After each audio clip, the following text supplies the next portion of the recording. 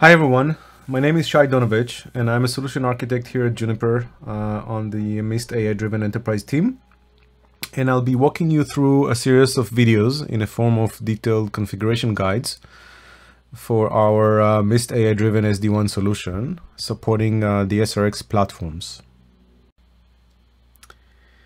Okay, so I have divided uh, these guides into uh, two main parts.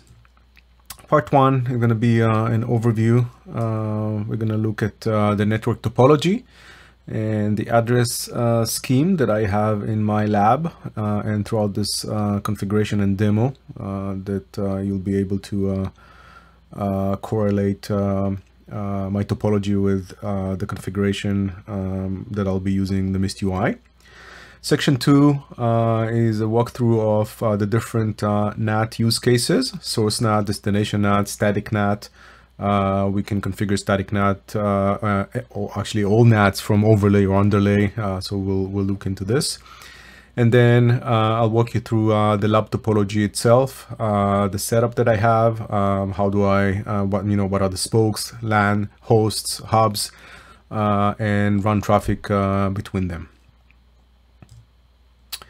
In part two, we'll dive into uh, detailed configurations uh, of different sections. In section one, uh, we'll show you how to uh, define and uh, create sites on Mist, and then um, um, create the WAN edge configuration templates that will be used to onboard um, the devices, uh, either spokes or hubs. Uh, in section two, uh, we look into uh, how to define networks that are attached to, uh, to the spokes or to the hub from the LAN side, as well as applications, which is usually referred to as destinations in the uh, uh, steering profiles or um, the um, security policies that we will be creating. In section three, we look into how we actually onboard devices. Uh, we have two ways to onboard devices under uh, Mist solution, either through adopt device to a site, or we have another option, which is a full ZTP uh, of uh, the SRX devices.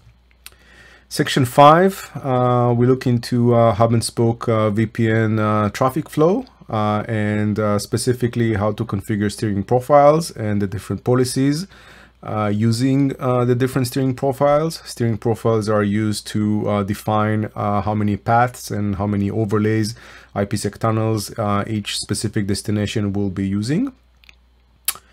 Section 6 uh, is where we'll start looking into how do I configure source NAT to overlay. This is for specific use cases where you have overlapping IPs uh, in each and every site that are all going to be uh, talking to uh, some resources and workloads in your data center behind the hub.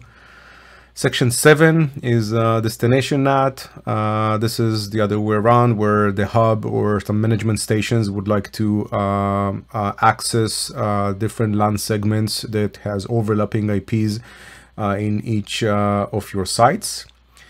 Section 8 is the uh, combination between source and destination, which is referred by SRX to Junos uh, as static NAT. Uh, and this is again uh, from or to overlay, meaning between spokes and hubs. Section 9 is where um, you're going to configure source NAT uh, as an option, as a source NAT pool, where you do local breakout from your spoke to the internet through the underlay network. And section 10 is the other way around uh, where you want to allow some traffic from the internet or from your underlay network uh, going into a specific uh, LAN segment or a specific host in your data center. For example, if you have a web server that is running in your uh, behind your hub, you want to allow uh, specific traffic from the internet or specific IPs hitting this web server on a private IP, then you would use destination NAT as well. Okay, so I'll see you in the next segment.